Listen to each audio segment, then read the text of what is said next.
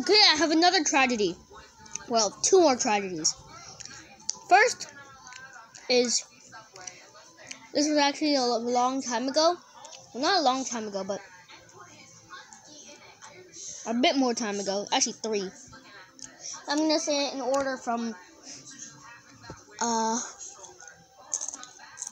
from so from oldest to most recent. So first, something happened with Tiana and mom. I won't say it.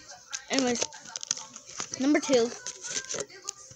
Um, my SD card.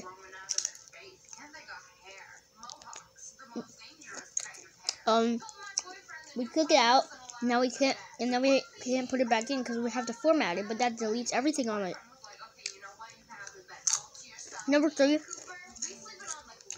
Had a beautiful blue balloon. He's my friend. I played with him so much. I loved him very much. This happened today earlier. And guess what? He almost blew away on top of the school, but I caught him. And it happened again with the, on, on top of the roof of our home. This time, I was too late to save him.